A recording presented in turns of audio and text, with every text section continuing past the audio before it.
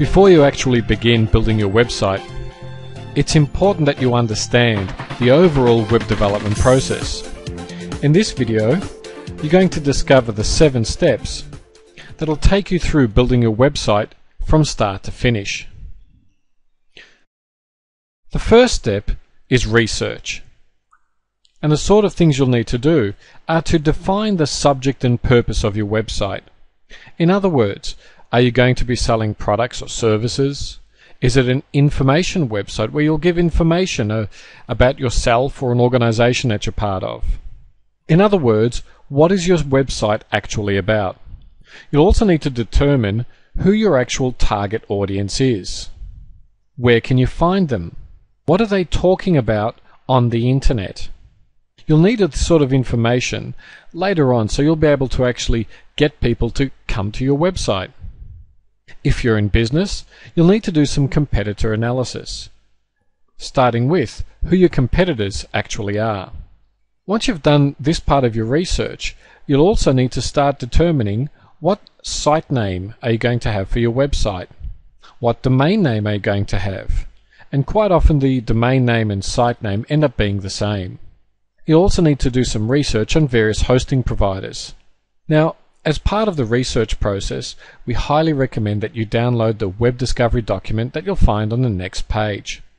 The Web Discovery document is a series of questions that have been specifically designed to help you uncover all those sort of questions that we just went through and help you become clear on your site purpose, what you want to achieve with it, and how you'll actually achieve that. Once you've completed all of that, it's time to start the planning. Need to organize what your visitor actions are actually going to be on the website. In other words, when your visitors come to your website, what actions do you want them to take? What sort of features will you have on the actual website?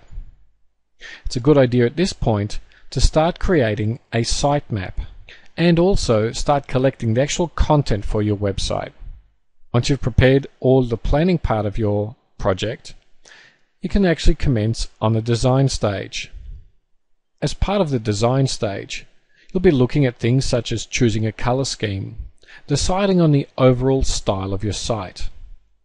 You're designing a page layout and a wireframe, and as well as designing your navigation system, the pages and page links. Once you've completed your design brief, you're then ready to actually start creating the website. So as you can see, there are three stages that you should be going through before you even attempt to create the website itself.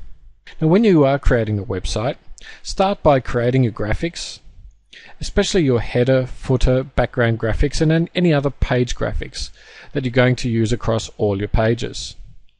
Once you've created all the graphics, you can start creating a page template.